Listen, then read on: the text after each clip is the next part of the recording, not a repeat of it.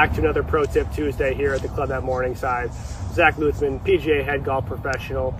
Today we're going to be learning a technique on how to improve your little chips around the green, ensuring that solid, crisp contact to hit that ball closer.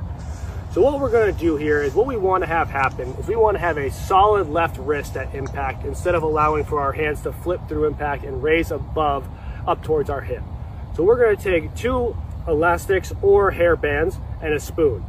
We're going to take the bottom part of the spoon, put it in between the two elastics, and then put the bottom of the spoon against the back of our wrist.